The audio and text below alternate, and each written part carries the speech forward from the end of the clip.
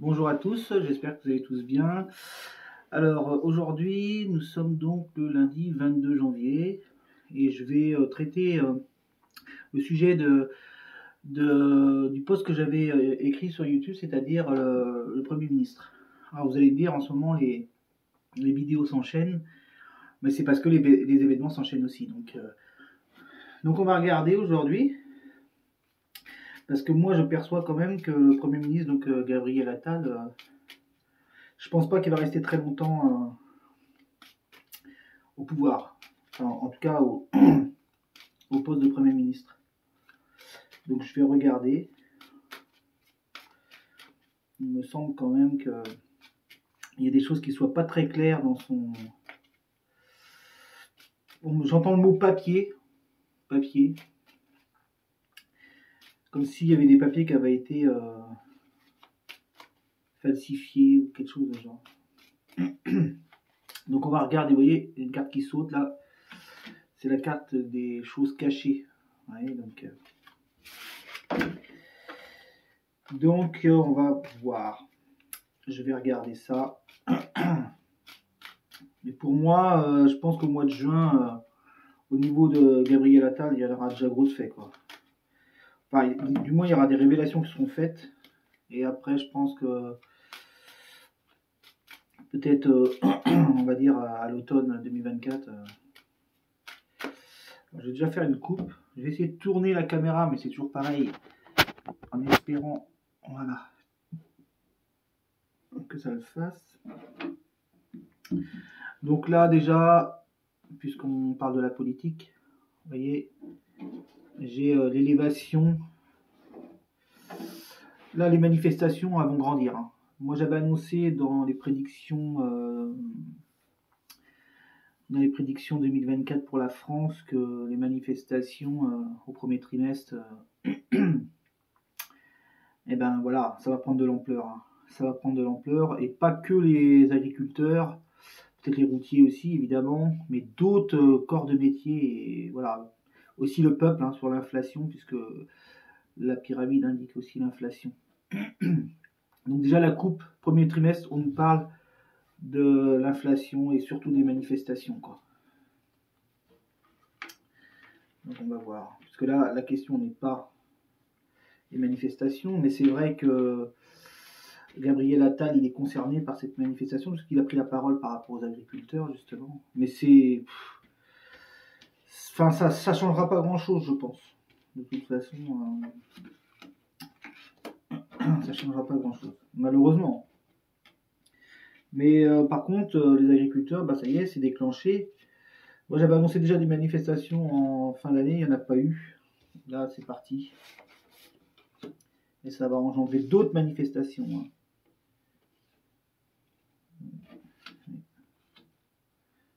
Donc ça, c'est sûr. Alors, pourquoi ça se met comme ça. Ah, je sais pas. Voilà. Alors, alors, on découvre quelque chose là. Alors, il y a des révélations, voilà. Vous voyez, hein. Ouais, c'est clair que là, il y a des révélations qui sont faites sur un homme. Ici, on apprend des choses, les médias, les médias annoncent quelque chose pour un homme, et vous voyez, j'ai la carte de la ruine juste à côté du métier. Voilà.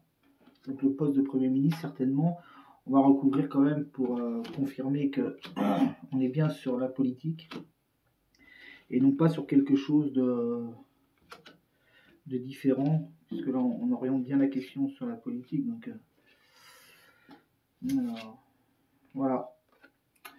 Alors moi, quand il y a des, révélations qui sont faites sur des papiers ou des diplômes. Voilà, stérilité. C'est bien la carte du néant sur cet homme-là. hein. Et vous voyez, c'est quelque chose qu'on va apprendre, c'est tout nouveau, c'est tout, frais. Il y a une contrainte pour lui. hein. De toute façon, vous voyez, là, il y a une contrainte pour lui. hein. Donc pour moi, il est mis à l'arrêt. La fatalité. Voilà, il a, lui, il a toutes les cartes quand même qui sont quand même pas terribles. Voilà, vous voyez, comme je l'annonce, comme je l'annonce, donc on, voilà, on nous parle bien de, du gouvernement. hein. Donc euh, il a été mis en campagne en fait. Gabriel Attal, hein, c'est un peu comme s'il préparait, Macron prépare son successeur, hein, de toute façon. euh. Mais moi je ne vois pas, euh, Gabriel Attal, je ne vois pas être président du tout. Mais du tout. Et vous voyez les révélations, voilà, on est sur des révélations qui sont en fait euh, des diplômes, voilà, sur des diplômes ou sur des papiers, comme si les diplômes, il y avait des diplômes qui étaient falsifiés, des documents falsifiés. Donc il ne peut pas, il ne pouvait pas être premier ministre en fait. Il ne pouvait pas du tout être Premier ministre au vu de, au vu de, ça, là, de ce qu'on va apprendre sur des falsifications de papier. Enfin, moi, c'est ce que je ressens, hein, c'est ce que je perçois. Pour moi, euh, mai-juin, euh, il n'est plus Premier ministre. Donc ça va encore changer de Premier ministre. Hein. C'est pour ça qu'on a la carte du nouveau là sur la ruine aussi. Vous voyez, voilà. Voilà. La carte du départ liée à ces révélations-là. hein. On est vraiment sur quelque chose. euh, voilà. La trahison. Il y a eu trahison en fait là sur ces diplômes-là. Il y a eu fraude, il y a eu quelque chose. Mais là, c'est voilà, c'est une trahison d'État. Donc euh, pour moi, il ne va pas rester longtemps. Il y a du changement au niveau de l'argent aussi. hein. Malheureusement, il y a quelque chose hein, au niveau des banques. Euh, J'en parlais hein, avec ma bancaire euh, récemment sur l'effondrement des banques. je ne citerai pas la banque, mais elle me disait que cette banque-là n'était pas cotée en bourse. Mais elle m'a pas, pas regardé avec des gros yeux quand j'ai dit que les banques pouvaient s'effondrer. Effondrement euh, total ou partiel des banques, euh, c'est une chose, mais c'est surtout euh, des frais supplémentaires, comme j'avais annoncé dans ma vidéo, dans une des vidéos sur, le, sur le- les épargnes et sur, sur les successions notamment. Donc,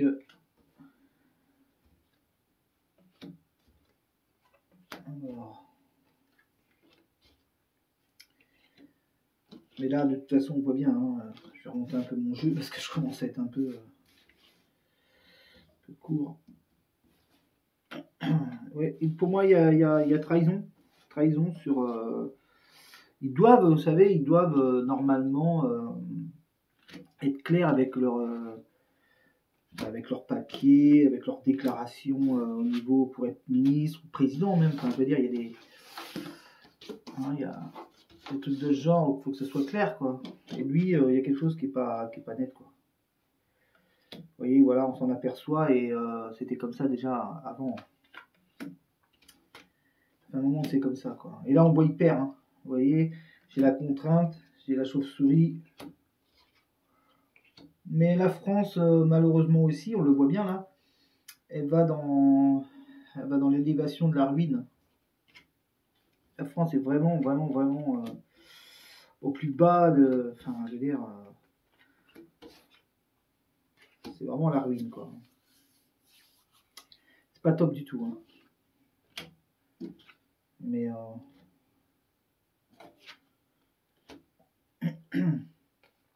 Et là, on voit bien, ça coupe ici, il y a un procès. Il passera, hein, ce Premier ministre-là, il passera au. Il y aura un jugement, quoi. hein. Vous allez me dire, tout ça, c'est. euh, C'est rien, hein, parce qu'il y en a plein qui ont été. euh, Vous voyez, voilà, les choses cachées. Alors, les choses cachées, je dirais que c'est général, en fait. C'est les choses cachées par rapport à ce ministre-là, qui pour moi saute, euh, on va dire déjà révélation mai-juin, et puis qui saute au printemps, enfin à l'automne 2024. Donc ça, c'est les choses cachées, les choses qu'on ne sait pas encore. Et les choses cachées aussi, c'est tout ce qu'on veut nous, nous faire...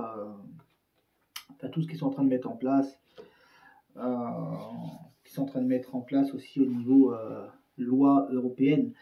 Il y a deux personnages dangereux, hein, de toute façon, euh, pour nous, hein, mis à part effectivement des choses qui peuvent venir de l'extérieur, qui peuvent être dangereux avec tous les conflits actuellement. Bien que j'avais annoncé que la Chine ne la voyait pas pour l'instant attaquer Taïwan. Mais c'est surtout euh, les deux personnes dangereuses, hommes, femmes, c'est Macron et von der Leyen. Alors, euh, je peux vous dire que. Et Macron, dans ses rêves les plus fous, il veut remplacer euh, Ursula von der Leyen. Mais elle, elle ne laissera pas sa place comme ça. Mais euh, vous voyez, il y a quand même encore des contraintes. Je ne vois pas trop la maladie, il y a peut-être quelque chose hein, qui pourrait ressortir. Moi, je pense qu'il ne faut pas voir que du noir. hein. Moi, je regarde beaucoup de vidéos aussi que effectivement, hein, il y a pas mal de choses qui sont assez négatives. Mais moi, je vois pas d'un retour de, maladie vraiment. Je euh, je dis pas qu'il peut pas y avoir des choses. Hein. Mais par contre, ce qui prédomine, c'est les manifestations, euh, toutes les lois, euh, les lois qui sont en train de faire passer, qui vont être tout aussi. enfin, je veux dire, beaucoup de gens vont, vont les contester, évidemment. Et là, le Premier ministre qui part, on va en remettre un, de toute façon. Bon, pour l'instant, je ne sais pas s'il a beaucoup de cartouches, euh, Macron, pour pouvoir mettre quelqu'un d'autre. Mais ce qui est sûr, c'est qu'il reste pas, là. Il reste pas. Il reste pas, et on voit bien le président dans l'incertitude. Mais lui, vous voyez, le président, il est là, et puis, euh, bon, bah, encore une fois de plus, hein, euh, le président, bah, lui, il a la carte du plaisir avec lui. Alors lui, tranquille, plaisir, honneur, grâce, il a toutes les bonnes cartes. Vous voyez, c'est la colonne qui est ici. Voilà. Le président, lui, il a toujours les bonnes cartes. C'est intéressant hein, pour d'autres personnes qui regardent euh, mes vidéos, même ceux qui font de la voyance, et moi d'ailleurs je suis le premier à le faire aussi, de se rendre compte que peu importe qui qui tire, euh, mm, enfin qui fait des vidéos de voyance, euh, il sort toujours les mêmes cartes maintenant. Tout le temps, tout le temps, et c'est hallucinant. Hein. Enfin ça j'ai déjà dit, il y en a d'autres qui l'ont déjà dit aussi. Et, là, vous voyez, hein, appui, donc le président, la grâce, le plaisir, voilà. Mais je pense qu'il n'est pas encore au sommet, hein. malheureusement. Enfin, malheureusement. Lui, je le vois encore aller plus haut que ça. Plus haut que ça. Mais je pense, vous voyez, parce que là, j'ai quand même la fatalité qui pourrait annoncer que la chute soit lourde. Mais pour l'instant, il n'est pas du tout là-dedans. Hein. Il n'est pas du tout là-dedans, Macron. Pour l'instant, il a tout qui lui réussit. Mais bon, j'ai envie de dire que tout ça, c'est un peu contre le peuple. Hein. Donc, euh, j'en reviendrai euh, en temps et en heure parce que j'avais déjà fait des prédictions 2024, mais j'avais aussi regardé pour 2027. Et pour moi, je vois une femme. Je vois une femme blonde. il y en a deux. Hein. Alors, je ne vais pas donner les noms maintenant, mais dans la sphère politique, il y en a surtout deux. voilà qui sont, on va dire, assez, on va dire, assez bien lancés en politique. Donc, euh, bon, je vous fais pas de dessin, hein. il y en a une que vous connaissez certainement très bien, puis d'autres. Euh, voilà. Donc, euh, affaire à suivre. Mais moi, ce que je perçois, ce que je ressens, je ne vois pas, je ne vois pas la continuité de la Macronie se faire en 2027. Ça, je ne pense pas. Je ne pense pas. Après, voilà. Hein. C'est sûr qu'ils vont essayer de nous faire croire des choses. Hein. Ça, maintenant. Euh. Mais là, déjà, c'est sûr, je confirme que le Premier ministre, il, il, tient pas. Mais si vous voulez, c'est pas un remaniement, c'est vraiment parce qu'il se passe un événement majeur, quelque chose de, de scandale. Ouais, scandale, c'est le mot. Qui fait que il est obligé d'être remplacé. Obligé d'être remplacé. Puis euh, après, euh, voilà, on verra. Hein. Donc. Et puis, euh, donc, euh, je n'ai pas encore décidé du prochain sujet, ça va dépendre des événements. Mais euh, de toute façon, avec ce qui va se passer en 2024, je pense qu'il y a matière à. Je vais remettre la caméra. Il y a matière à pouvoir, voilà, à pouvoir traiter de, pas mal de sujets. Mais tout est manipulation, hein, de toute façon, vous voyez bien, hein. tout est manipulation et tout est on veut nous, ouais, on veut nous, faire croire des choses qui sont, euh, enfin, je veux dire. Mais les manifestations là, ce, ce n'est que le début. Euh, il faut quand même pas mal de, de, blocage, de, peut-être de violence aussi. Mais ça, euh, la violence qui ressort dans la manifestation, c'est ça va être plus le peuple, on va dire, par rapport à l'inflation, tout ça. Parce que là, je pense que là, ça va commencer quand même à, à bouger. Maintenant, qu'est-ce que ça va faire? Moi, pour moi, elles seront stériles. Elles seront stériles, il n'y aura pas grand-chose qui changera malheureusement. Il n'y a pas de déflation, ça c'est une évidence.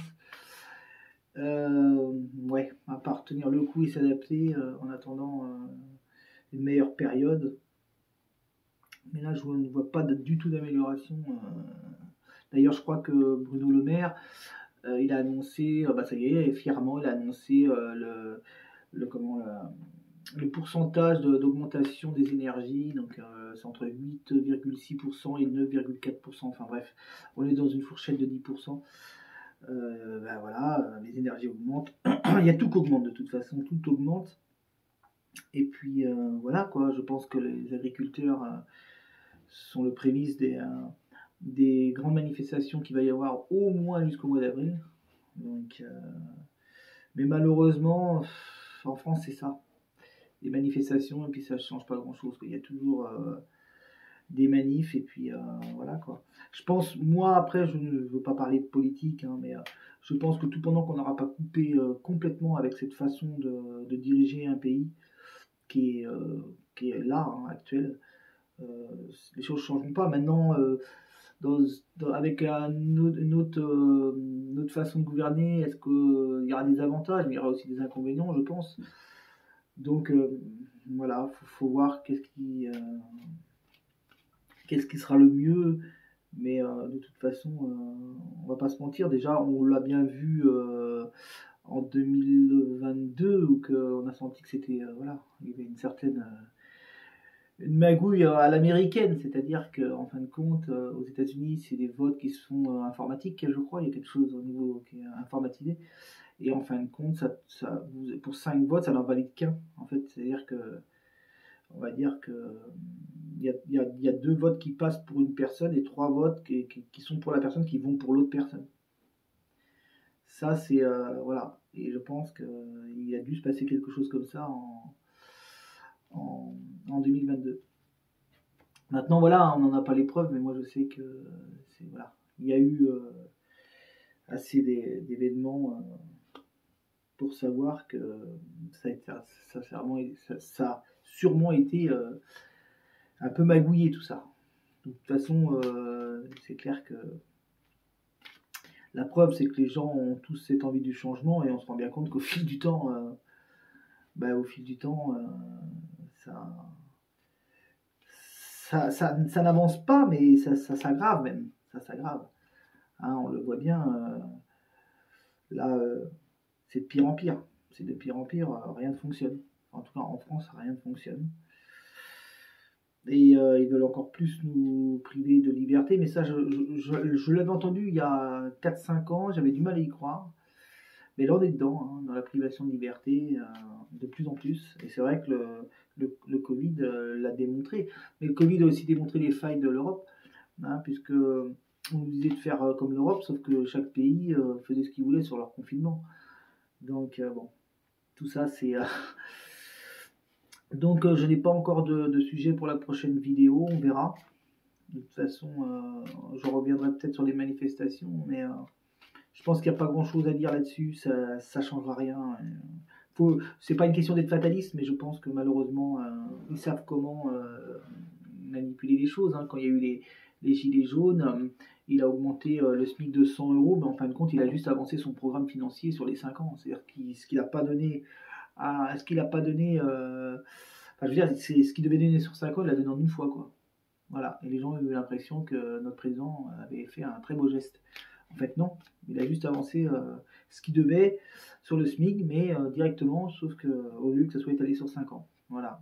Donc, c'est tout est manipulation et donc on verra bien, on verra, euh, on verra bien la suite, mais euh, ça va être long, ça va être long. Mais je perçois quand même qu'il y a une amélioration en 2026, de manière générale, alors qu'on aura toujours, on est censé tout le temps, euh, enfin on est censé avoir le même gouvernement encore en 2026. Alors qu'est-ce qui va se passer pour que je perçois une amélioration? Ça c'est le grand mystère. En tout cas, une chose qui est sûre, c'est que je ferai certainement une vidéo aussi sur les européennes puisque ce que Bardella a mis en place, je pense, ça va avoir une grande influence dans l'avenir. Et euh, surtout, euh, bah, évidemment, qu'il a l'air d'être largement en tête dans les sondages et que je pense que ça ne s'appelait pas trop euh, au parti qui est en place, parti politique qui est en place. Et je pense qu'il va y avoir de la de l'intox aussi pour troubler un peu tout ça. enfin, on reviendra dessus. Enfin, moi, je reviendrai dessus personnellement. Et on verra les sujets qui tomberont. Mais pour l'instant, euh, voilà, on va être dans les manifestations. J'avais prédit malheureusement aussi euh, une attaque croise les doigts, j'espère m'être trompé, mais malheureusement, je pense qu'on aura une attaque terroriste, une attaque terroriste en France au premier trimestre. Donc peut-être vers mars-avril. C'est pas à souhaiter. Hein, je dis bien que c'est pas à souhaiter, mais malheureusement, je pense que il se pourrait qu'on ait malheureusement ce genre de choses. Alors, euh, inflation, plus ça, plus ça, ben, faut résister, faut s'adapter, puis, euh, et puis euh, attendre des jours meilleurs. Voilà. Et eh ben, merci encore de, de suivre mes vidéos. N'hésitez pas, encore une fois de plus, à vous abonner, à laisser des commentaires. J'y répondrai toujours avec plaisir. Et puis, donc, je vous dis à la prochaine fois. Merci beaucoup.